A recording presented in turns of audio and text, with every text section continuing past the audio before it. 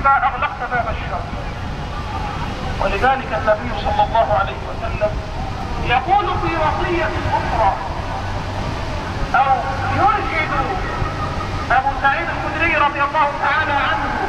مرة أخرى ويبين له أن الغضب من أهم الأشياء التي تدخل الإنسان في الشر فيقول له ألا وإن الغضب جمرة في جوف ابن آدم.